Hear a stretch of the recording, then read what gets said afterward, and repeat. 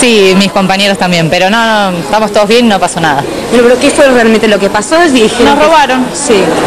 ¿Tenías dinero? ¿Qué tenías en el? ¿Te robaron el celular? No, no, no, no nos roban celular ni nada, nada. Fue muy rápido y nos asustamos porque es una situación violenta, pero nada más. ¿Dónde fue? ¿Cómo fue? ¿Te diste cuenta en el momento que te robaron?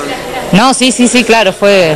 Fue arrebato directo, o sea, no hay... No, fue eh, adentro de un bar, pararon todo y cerraron y robaron a todos. A todos. Ah, ok. Del bar. Sí.